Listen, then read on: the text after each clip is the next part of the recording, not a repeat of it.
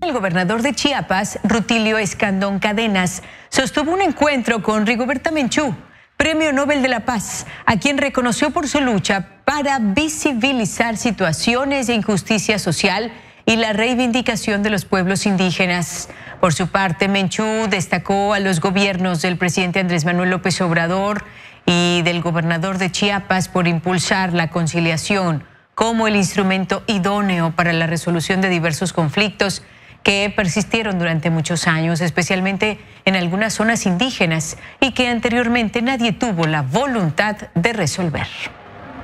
Pienso que Chiapas es emblemático por todo,